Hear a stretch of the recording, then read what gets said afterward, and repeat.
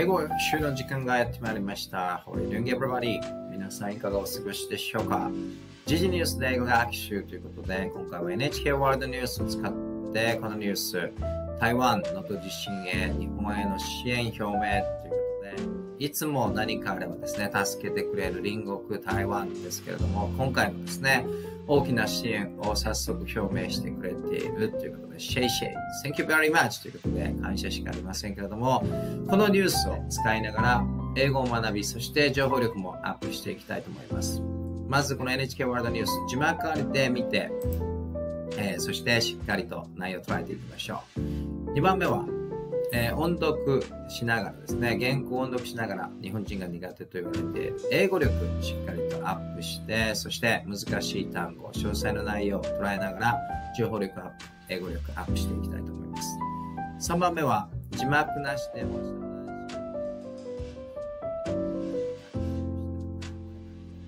っかりと英語のリスニングだけで理解できるのかチェックしていきましょう。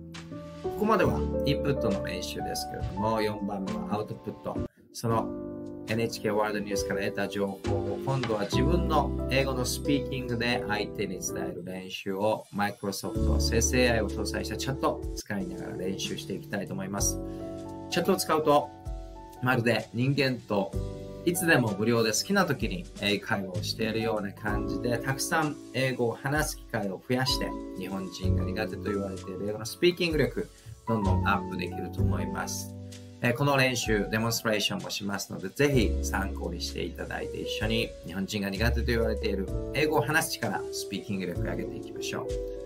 英研究家チャンネル、英語学習に使えるな、情報も取れるなと思ったら迷わずチャンネル登録ボタンのクリック、高評価ボタンのクリックよろしくお願いいたします。それでは NHK ワールドニュースを使って台湾がどんな支援をしてくれるのか、えー、見ていきたいと思います。Let's get it started! それでは、この左側の NHK ワールドニュース、右側の英語字幕を使いながら見ていきたいと思います。読まれているところにこのようにカーソルを合わせていきますので、必要な方はですね、参考にしてみてください。字幕がなくても聞き取れそうだ、聞き取り挑戦してみようという方は、右側の字幕を無視していただいて、左側の NHK ワールドニュース集中してみていただければいいと思います。それでは行ってみましょう。Let's try to understand the outline of this news with English subtitles. Let's try it. Taiwan's government is pledging to help with relief and rebuilding efforts after Monday's devastating earthquake in central Japan. They're also launching a fundraising campaign saying they'll donate nearly $420,000. Taiwan's Foreign Minister Joseph Wu announced the pledge on Thursday. Japan's emergency is Taiwan's emergency. We hope those affected by the earthquake will be able to return to their normal lives as soon as possible.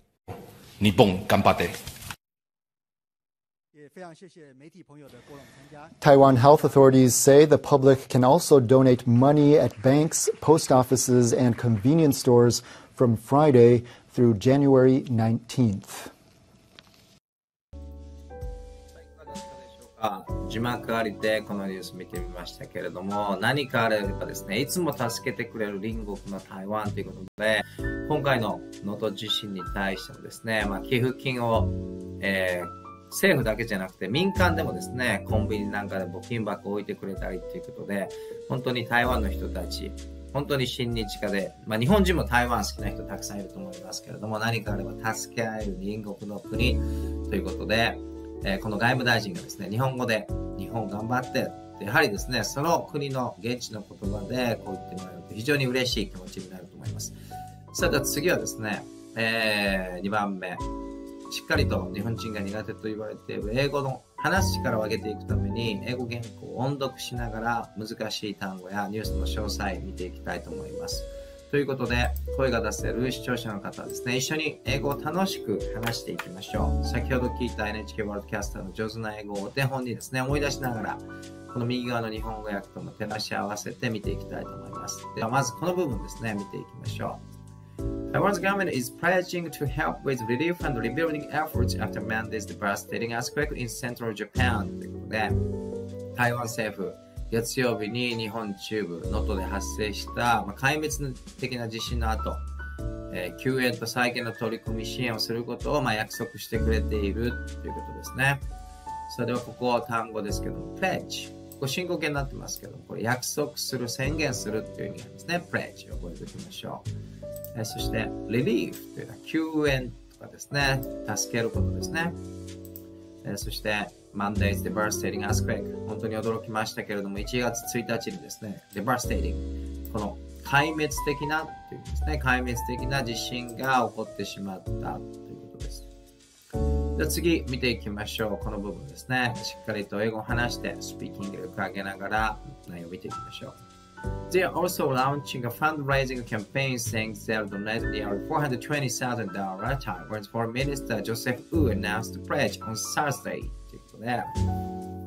で、えー、そして台湾の政府ですね、42万ドル、まあ、日本円で、えー、6000万円近くですけれども、日本に寄付してくれる。そして、募金活動も開始してくれるということを表明して、台湾の外務大臣のジョセフ・ウーさんがですね、木曜日に発表してくれたということです。えー、ラウンジというのは打ち出すとかですね、えー、発射するなんていう意味もありますけども、ラウンジを覚えておきましょう。え、ファンドライジングキャンペーンですね、え寄付金を集めるキャンペーンということですね。え、そして、donate、寄付するですね。え、そして、pledge、宣言ですね。約束を発表したということです。え、では次ですね、ここ。えー、台湾の外務大臣、ジョセス・ウーさんが言っていた英訳ですけれども、ここを音読しながら内容を捉えていきましょう。Japanese emergency is Taiwan's emergency. We hope those affected by the earthquake will be able to return to their normal lives as soon as possible ということで、まあ、非常に嬉しいですけれども、日本の非常事態は台湾の非常事態と同じだということ。そして地震で被害に遭われた方々が一日も早く元の生活に戻ることを願っているということでですね。えー、この部分、出てきた単語表現を見ていきたいと思いますけども、エマージェンシーっていうのは緊急事態ですね。日本の緊急事態は台湾の緊急事態と同じだっていう国ですことですね。えー、本当にこう言っていただけると、もっともっと台湾大好きになりますけれども、台湾、今年の1月に台湾総裁選ありますけれども、えー、中国との関係ですね、どうなっていくのか、本当に2024年の一つの懸念事項、台湾の未来を決める選挙になると思います。まあ、もしですね、台湾に何かあれば、日本政府もですね、えー、このように支援してくれているので、恩を恩で返す感じで、えー、台湾を支援していきたいなと、個人的に思っておりますけれども、えー、affect という単語ですね。これ、影響ということですね。えー、この地震によって影響を受けた方々ですね。そして、be able to 何々することができるということで、return to normal lives まあ、平常の生活にできるだけ早く戻れることを祈ってますと言ってくれてます。そして、口だけではなくて、しっかりと支援もしてくれるということですね。では、ここ見ていきましょう。台湾 Health Authority says the public can also donate money at banks, post offices, and convenience stores from Fridays through January 19th ということで、まあ嬉しいのはですね、台湾政府だけじゃなくて、民間でもですね、銀行とか郵便局、コンビニで、まあ、寄付を集める募金ボックスをですね、置いて、一般の方々たちも毎回たくさん日本を支援してくれるということで、本当にこういうのを聞くと嬉しくなりますけれども、それここ、えー、出てきた単語表現ですね、donate というのは寄付するですね。えー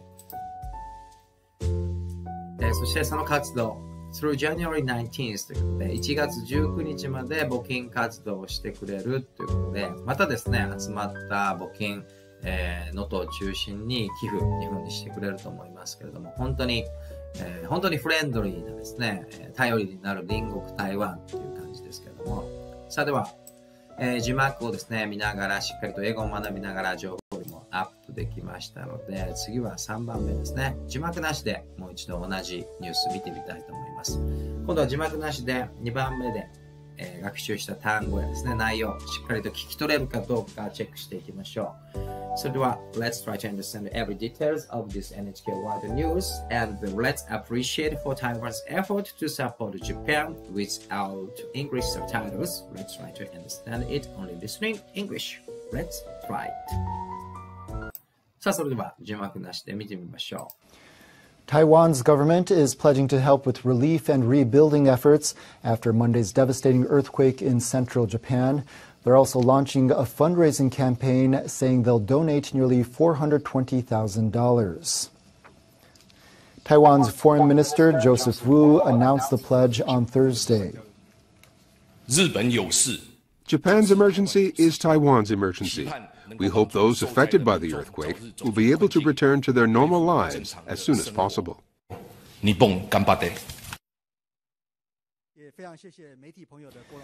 Taiwan health authorities say the public can also donate money at banks, post offices, and convenience stores from Friday through January 19th. さあどうだったでしょうか？字幕なしでもう一度 NHK ワールドニュース聞いてみましたけれどもしっかりと学習した内容単語表現聞き取れましたでしょうか、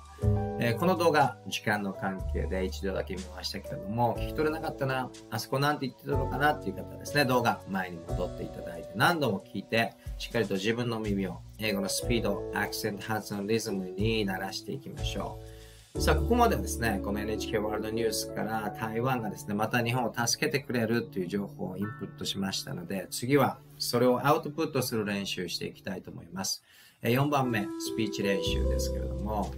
この島国、日本ですね、海に囲まれた島国日本に住んでいると、普通はですね、なかなか英語を話す機会っていうのがないと思います。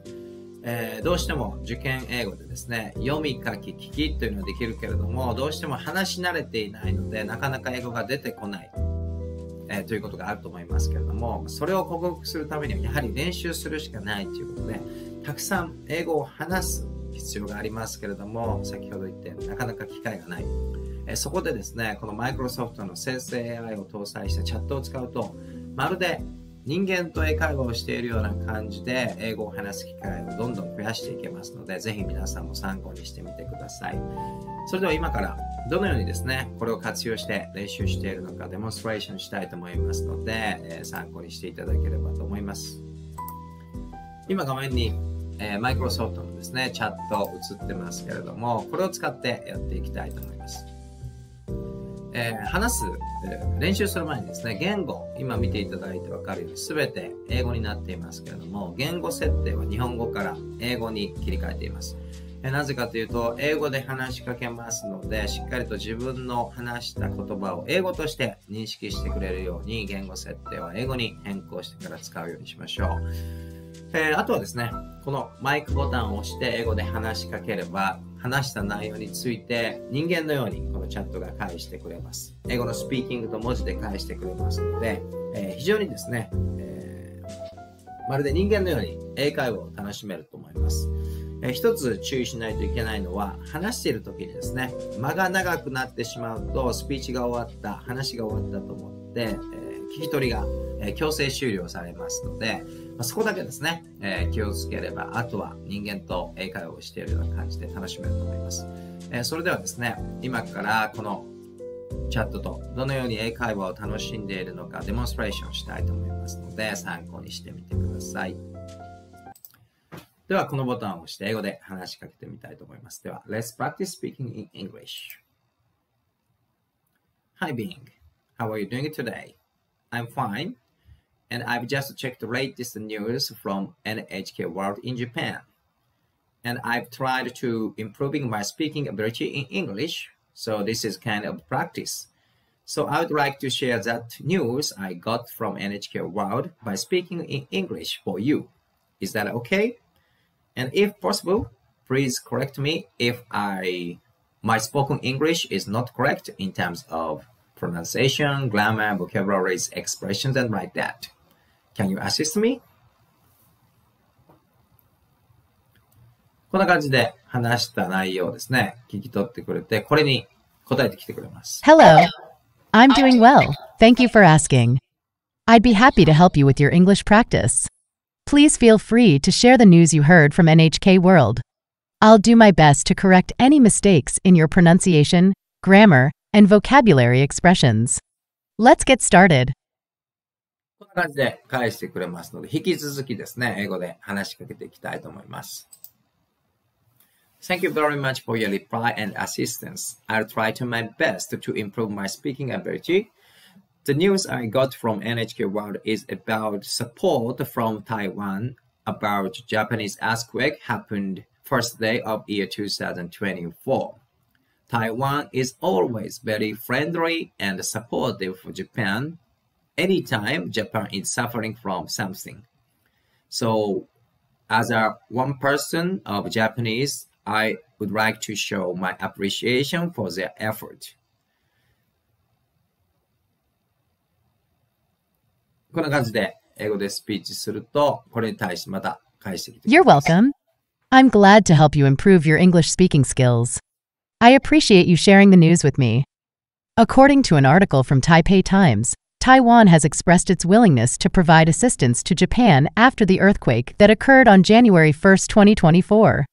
The Taiwanese government has instructed the Ministry of Foreign Affairs to contact the Japan Taiwan Exchange Association in Taipei to understand the situation and express a willingness to provide assistance.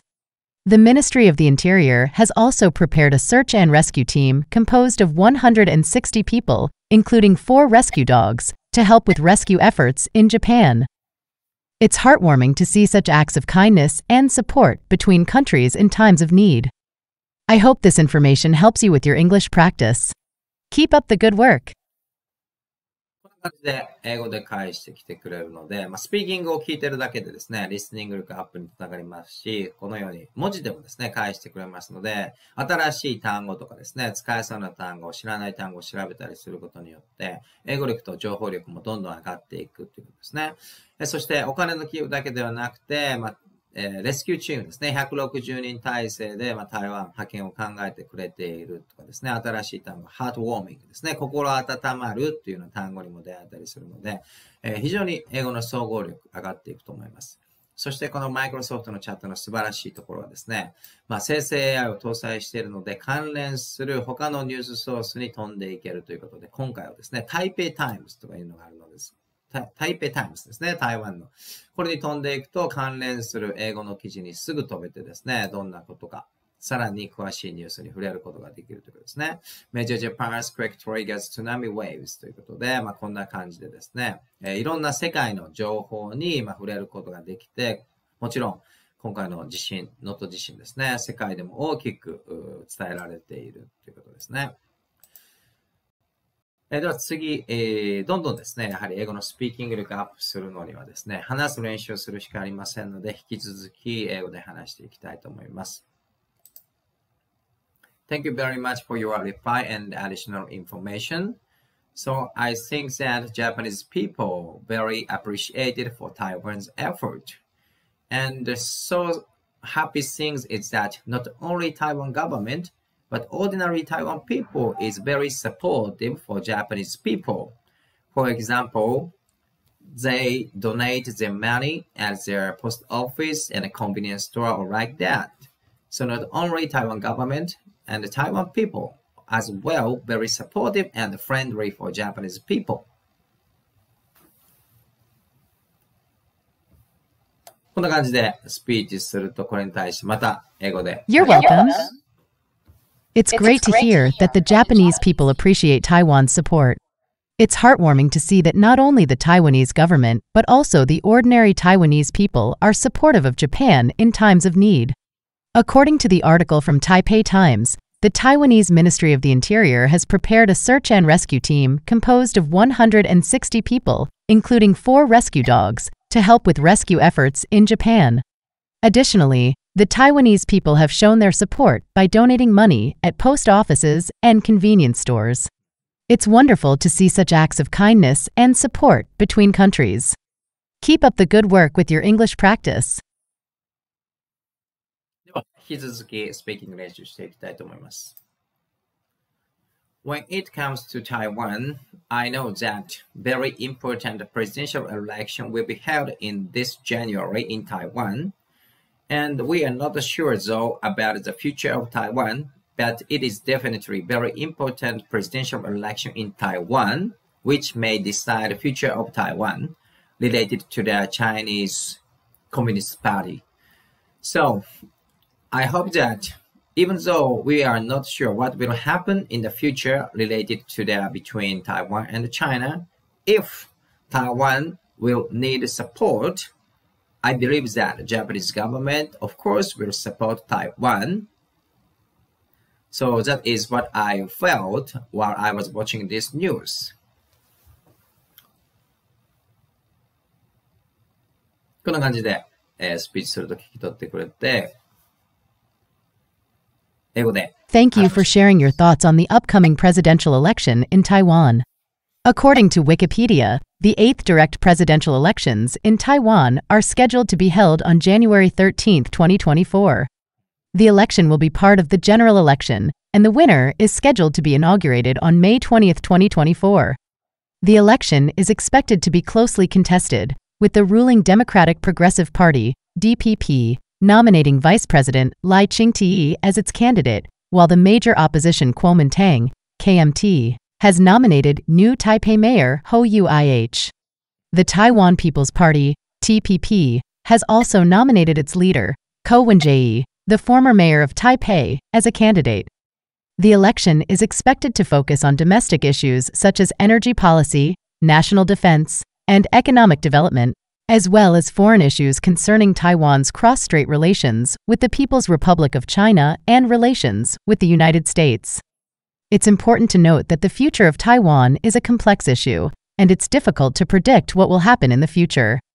However, it's heartening to see that Japan is willing to support Taiwan if needed. Keep up the good work with your English practice. こんな感じで関連する内容で英語の英語で返してきてくれます。台湾、えー、の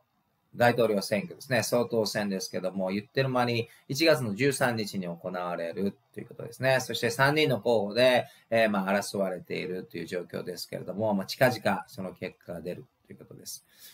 えー、ではですね、引き続き、えー、英語でスピーキング練習していきたいと思いますけれども、まあ、これは英語のスピーキング練習だということで、え、自分の英語どうだったかですね、このマイクロソフトに聞いてみたいと思います。Thank you very much for your feedback. By the way, as I said at the beginning, this is the practice of speaking in English. So, how did you feel about my spoken English? Do you hear anything wrong about my spoken English? If there is a mistake or something like that, please correct me and let me know.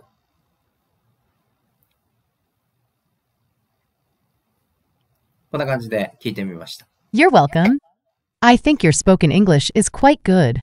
I didn't notice any major mistakes in your pronunciation, grammar, or vocabulary expressions. However, there are a few minor things that you could improve on. For example, when you said, I would like to show my appreciation for their effort, it would be more natural to say, I would like to express my appreciation for their efforts. Additionally, when you said, if Taiwan will need support, it would be more natural to say, if Taiwan needs support. These are just minor things, and overall, your spoken English is very good. Keep up the good work. こんな感じで、えまるで自分の英語の先生、英語のパートナーのようにですね、自分の話した英語、どうだったって聞くと、まあ、特に大きな問題ないけど、まあ、小さいミステイクはあるよということで修正もしてくれますので、このマイクロソフトのチャットを使うとですね、たくさん英語を話す練習ができると思います。 そしてその英語を話す練習というのがですね、日本人のスピーキング力アップに必要不可欠になってくると思いますので、皆さんもぜひ参考にしていただいて、どんどん日本人の英語力、英語話から上げていきましょう。さあ、いかがだったでしょうか？今回の時事ニュースで英語学習、NHK ワールドニュースを使って学習しましたけれども、本当にフレンドリーでサポーティブな隣国台湾ということで、今回もですね、能登地震に対してたくさんの支援を早速表明してくれているということで、まあ、シェイシェイ、感謝しかありがとうございますという感謝しかありませんけれども、もしですね、まあ、台湾に何かあってサポートが必要な時は、まあ、日本政府、そして、ま、日本国民としてですね、まあ、オンをオンで返すようなことができればいいなとこのニュースを見ながら思いました。えー、皆さんはこのニュースからどんな情報を得て、どんなことを学びましたでしょうか引き続き、研究家事チャンネル、英語学習に使える動画、情報力アップにつながる動画、アップロードしていきますので、いいなと思ったら迷わずチャンネル登録ボタンのクリック、高評価ボタンのクリックよろしくお願いいたします。そして、お友達で英語を学習している方がいれば、研究家事チャンネルという英語学習系チャンネルあるよということで、えー、宣伝、チャンネルの共有していただけると I'm so happy とっても嬉しいのでぜひ応援よろしくお願いいたします Thank you very much for watching my video till the end I hope we could learn new English vocabularies as well as information very heartwarming information proposed by Taiwan to Japan and I would like to say Shay Shay in Chinese Thank you very much for watching till the end. Have a good day. Stay safe. Bye.